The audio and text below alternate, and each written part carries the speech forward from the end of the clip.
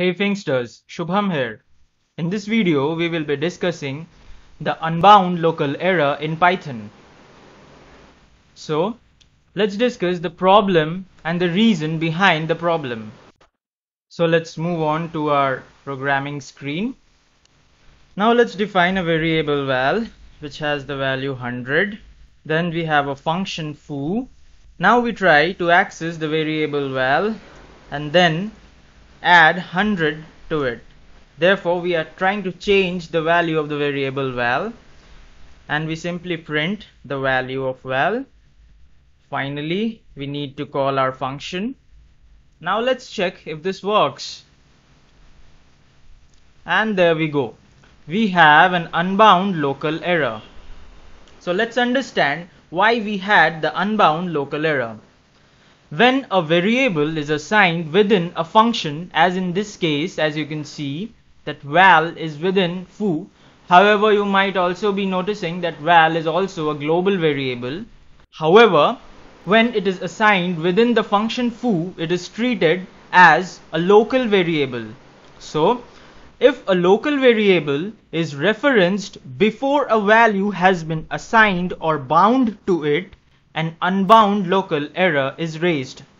So as you can see in this example, when the variable val is read by Python interpreter inside the function foo, it assumes that the value is a local variable as I said before.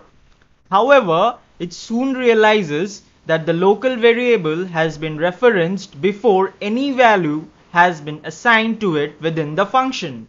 Thus, it throws the unbound local error. Simply put, we can only access a global variable inside a function, but cannot modify it from within the function. So let me show that to you. In this case, we tried to modify the value of val. However, if we simply try to access the variable, then we can do that. So let's check that out. As you can see, now we can print the value since it's a global variable. But as soon as we try to change the value of val, the function will consider that val is a local variable and thus it has not been assigned any value within the local scope and thus we get the unbound local error. Now having said that, let's move on to the solutions of our problem we will be using the following methods as you can see on the screen to solve our problem. We'll use the global keyword, then we will be using the non-local keyword, and then move on to use a mutable object to solve the problem, and finally we will use a traditional method of passing parameters to the function to solve our problem. So without further delay, let us jump into the solutions one by one. So this was our code all we need to do here is simply use a global keyword. So we now define global val and then we add the value 100 to the variable val. Any variable created outside a function is global by default while any variable created within the function is local by default. Thus, to modify a global variable from within the function and avoid an unbound local error, we use the global keyword. Now let's see if this works for us. Now let's run the code. And there we go. We have our desired output. Now let me discuss another scenario where we get the unbound local error. Now consider that we have this variable inside the function itself. So now I have declared the variable inside the function. However, I have another nested function by the name test and now I want to access the value of val inside this function. So let me comment this out for the moment. Now let's check if this works. I need to call the function we call the function test. And this should work for us. And there we go. We have 100 now yet again we will try to modify the value of 100 in this case. Now before doing that, let me tell you, this has to do something with a scope known as an enclosing scope. So we have an entire article and video regarding scopes in Python. I'll provide the link to that article in the description below. So as of now, let's focus on this. We are using the variable val which is inside the function foo and then we try to change the value of val. So will this work? Let's check. And we again have an unbound local error. Yet again the reason is same. We are trying to access the value of val which is not within the scope of test. Test considers that val in this case is within its local scope that is within the local scope of test. However, when it tries to change the value of val, it finds that val has not yet been assigned. So we get the unbound local error. So what's the solution to this now? Now this brings us to the second solution using non-local keyword. So instead of using the global keyword, we can simply use the non-local keyword when we have a nested function. So let's check how that works for us. We simply use non-local and well that's it. This should do it for us.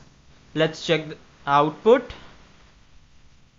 And there we go we again have our output so I hope that was clear to you now I want to mention that the scope in this case is neither local nor global that's why we are using the keyword non-local also if the value of the non-local variable changes, the changes are also reflected in the local variable. So what do I mean by that? Since I change the value within the function test, it will be reflected in the function foo as well. So let me print that out for you and show that to you. Print val. Now as you can see, this print statement is outside the function test and inside the function foo. So let's check the output. As you can see, the value of val has been changed inside foo as well. So that's what I wanted to show. Now let's move on to the next solution using a mutable object. Now what do I mean by that? Instead of using the variable directly I'll be using a mutable object like a list or a dictionary and then assign the value to the variable.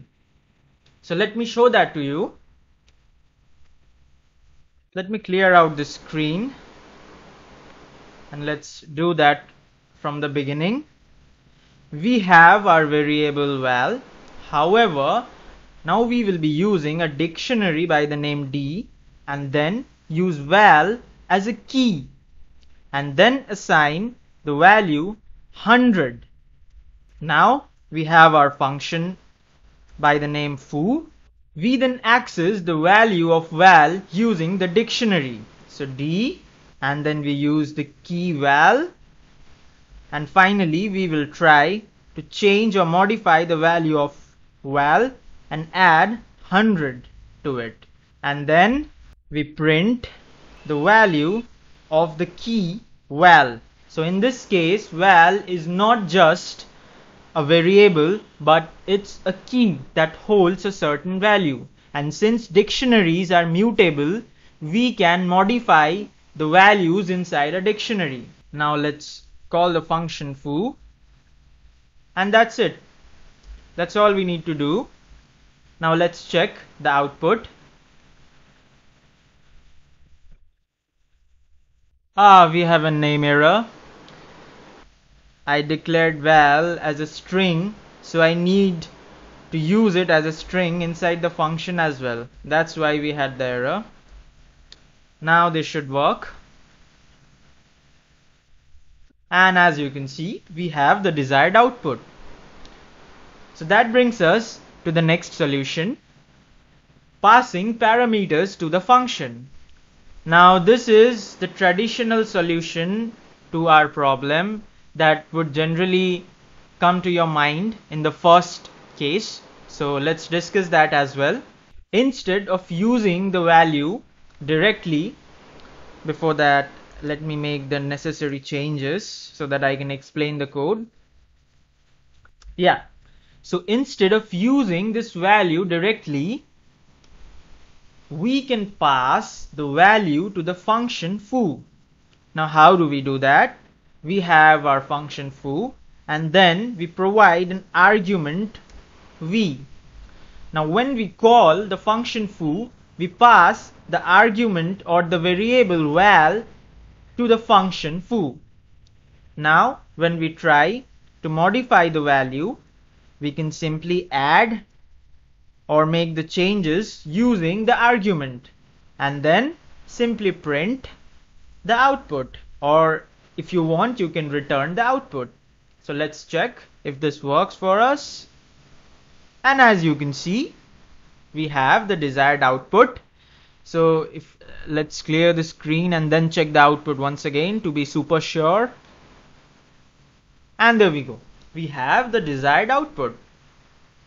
So that was it for this video. I hope you learned something from it. Please give it a like and subscribe our channel.